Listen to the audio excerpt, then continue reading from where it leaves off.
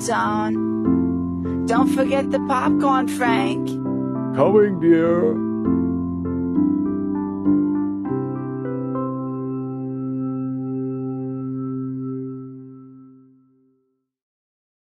And so when we go into the home with Oh, by, by the way, stop hmm? for a second, because I was actually going to do that piece a little bit, little bit later on, but I wanted to, to mention that. Most people assume that you can't get those kinds of nursing services at home unless you've been to the hospital, right? That's not so true. that's why we really want to mm-hmm. emphasize that. The, doc- the doctor has to write the, the That's right, right? an order. But mm-hmm. typically, the, the, the, the link into the doctor is them. Yeah. Right? Because your doctor isn't coming to your house. I mean, for Some sure. do, The some yep, do. Yes? Oh, yeah, absolutely. Oh, this is Nantucket. Yes, the doctor doesn't come to our house. Absolutely. We've got the Okay. extra special people here. That's Absolutely. great. That's great. Yeah. So basically, what the doctor or the physi- you know, the, the ordering physician lets us know what they would like us to do for you, why you need us there. So they may order skilled nursing to change a dressing on a wound. They may order physical therapy to rehabilitate, to strengthen you if you're feeling weak or you've gone downhill a little bit. They may order um, occupational therapy to come in to do a home safety evaluation to see that you have all of the appropriate safety measures in the home to keep you safe at home. Um, we also have a dietitian on staff. Um, and the doctor, basically, the doctors here are great. If we say, you know, I think so and so would benefit from a consult with the dietitian, they say, I trust your judgment, off you go. So we have diabetic teaching, all sorts of things. We also have a medical social worker who sees our patients, and he does great work with um, not just the patient, but with patients' families. Many people are dealing with chronic, um, debilitating illnesses. Many people are, you know, facing death and dying and dealing with those issues. So um, he's very beneficial as well. And we all work together as a team to plan the care for the patient and then to coordinate the care for the patient and family. Um, the the first thing is we recognize that we are guests in your home. You can decide you don't want us there. Dr. Pearl may say, I think you'd really benefit from VNA. We go out and you say, no, I don't want any. You have the right to determine your own um, lifestyle and what you want to do with your health. Um, Now, and now, how much Mm-hmm. are they paying you for this? lots and lots. I make the big buck.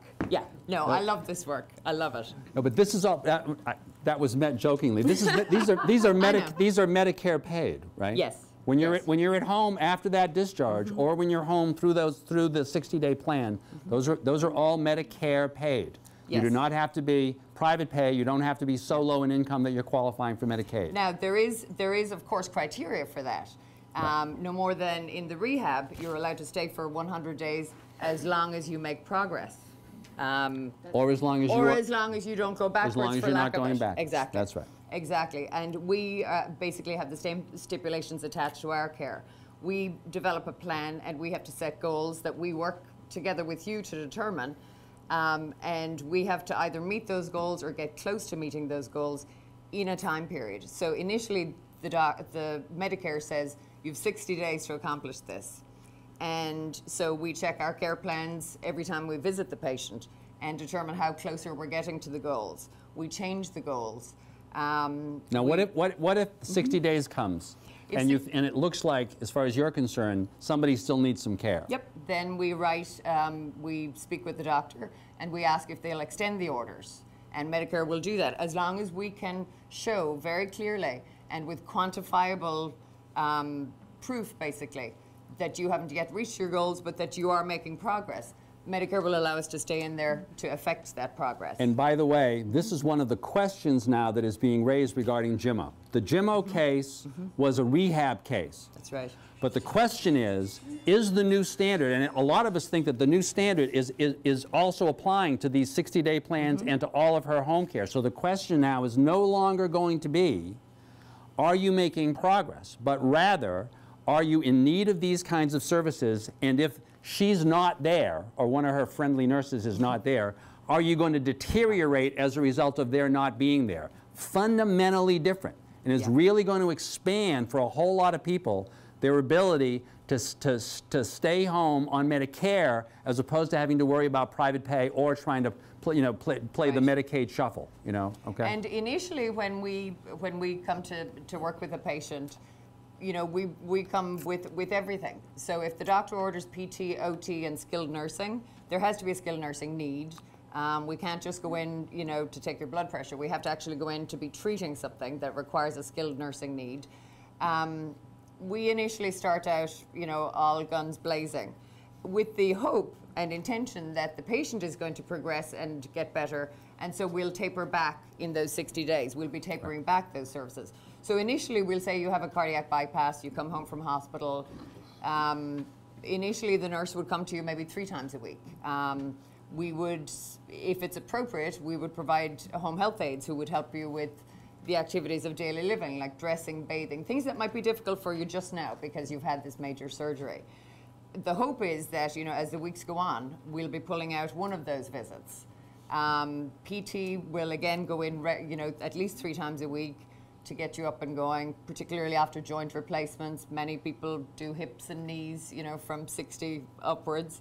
Um, and again, the goal is, you know, to get you back to your baseline or as close to your baseline as is possible. And once we've achieved that, then we all say goodbye and wish you the very best and let you know that we'll be there should you need us again. Um, our collaboration with the hospital and with physicians here is really important.